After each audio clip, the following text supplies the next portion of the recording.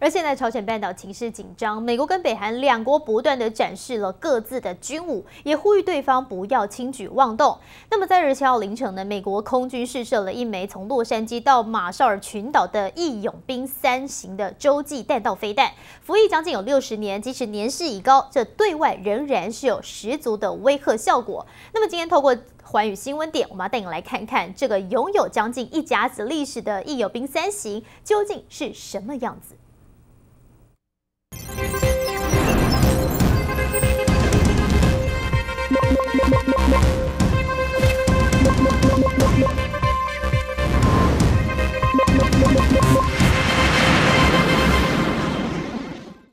义勇兵三型洲际弹道飞弹，全名称为 LGM 三零义勇兵洲际弹道飞弹。一九六四年起由美国波音公司研发，一九七零年开始服役。二零零五年，和平守护者飞弹退役后，美国现役的陆基洲际弹道飞弹就只剩义勇兵三型。义勇兵三型以固体燃料火箭马达惯性引导，属于多弹头飞弹，并装有指挥缓冲系统，能够在三十六分钟之内改变攻击目标。相较于过去的类型，性能大幅提升。除此之外，飞弹还内建全球定位卫星系统，能够从卫星接收资讯，并且传递数据到地面基地，用以更精确的计算飞弹的所在位置和飞行速度。美国空军现在有大约四百五十枚的义勇兵三型飞弹，分别放置在蒙大拿州的马姆斯特罗姆空军基地、北达科塔州的诺特空军基地和怀俄明州的沃伦空军基地。这款飞弹虽然不是最新型的武器，但它设计用来投送核弹头，再加上飞行力，对外依然威吓效果十足。以上就是今天的环宇新闻点。